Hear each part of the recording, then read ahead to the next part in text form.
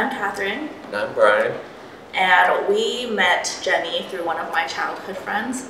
Um, she connected us through Instagram back in 2018. I think as first-time homebuyers, we were kind of apprehensive about working with a realtor um, because I think it feels like they might pressure you into buying a home that might not be perfect for you. But Samantha was very patient with us and she made the experience so much better than we could have imagined. Samantha was always available to show us properties whenever we wanted and she was very knowledgeable about the local markets so um, we understood where we were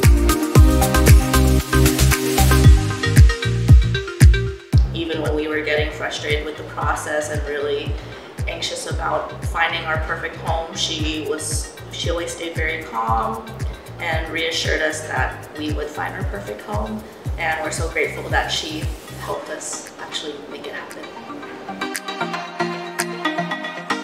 We listened to them and we are able to finally now be moving into our first perfect home um, before the arrival of our first child.